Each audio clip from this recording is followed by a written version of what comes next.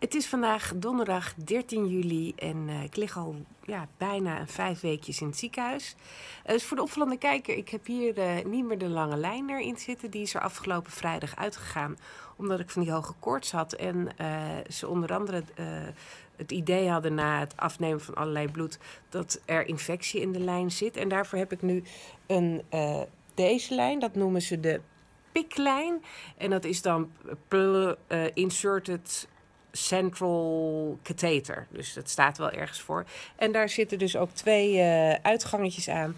Dus daar uh, kan dan bloed in, terwijl ook de antibiotica aan het doordruppelen is. Zoals nu het geval is.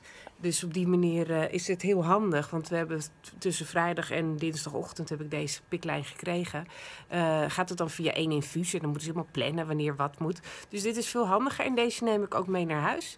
En dan als ik hier uh, eh, 7 of 6 augustus mij meld, kunnen ze de piklijn ook weer gaan gebruiken om de medicatie toe te dienen die dan nodig is voor de stamceltransplantatie. Nou ja, hoe kom ik mijn dagen door? Ze vliegen voorbij. ja, niet alleen omdat je gewoon af en toe gewoon echt niet lekker voelt, zoals gisteren. Gisteren had ik in ene weer 39 graden koorts in de ochtend en uh, ook te weinig zuurstof in mijn bloed. Ja, dan voel je echt wel beroerd en dan heb je zo, van, met zo'n dingetje krijg je dan zuurstof toegediend. En zoals je nu ziet, voel ik me stukken beter. En heb ik nu ook uh, medicatie om te zorgen dat het vocht wat ik vasthoud door uh, alle bloedtransfusies ook mijn lijf uitgaat. Dus ik voel me weer, uh, ja, vergeleken met gisteren, helemaal top. Dus dat gaat de goede kant op.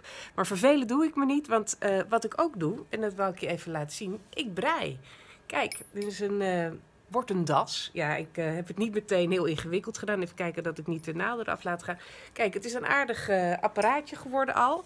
Hupsakeetje. Hij uh, moet nog een stukje bijgebreien uh, worden. En uh, ja, het leuke is dat op een dag, op een moment, bijvoorbeeld gisteren ook, als ik het even niet zie zitten, dan denk ik, nou, ik ga toch één of twee naalden breien. En dan heb ik toch het gevoel dat ik een nuttige dag heb gehad. Nou, ik word ontzettend verwend door allemaal mooie lieve kaartjes van jullie. Niet alleen hier achter me zie je ze, maar ook hier een hele wand vol en daar een wand vol. En lieve teddyberen en nepbloemen en een uh, nou, mooie ballon heb ik. Dus ik word echt ontzettend verwend. Dank, dank, dank daarvoor.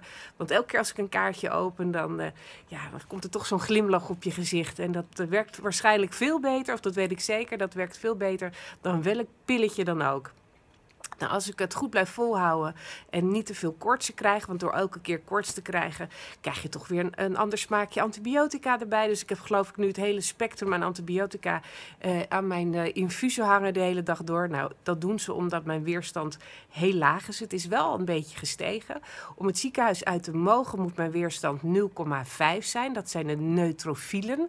En het is nu 0,08 en ik kom van 0,01. Dus van 0,01 naar 0,0 0,8 is al een verbetering, maar het moet naar 0,5. Dus ik hoop uh, dat het snel gaat gebeuren. Gezonde mensen hebben overigens 80.